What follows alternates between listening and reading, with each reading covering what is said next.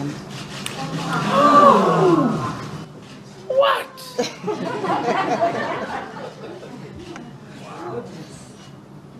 When uh, um, this, this, this material is not in, these stones will be coming closer to these in terms of the color. I see. All right. Yes. Oh, you just want my face hidden, hey? This uh, also goes to show Botswana and the world how important mining, good governance, particularly diamond mining, is to Botswana. They mean everything to us, in the good times and the bad times. Diamond prices are going through a very difficult time right now, but yet every diamond remains precious and valuable.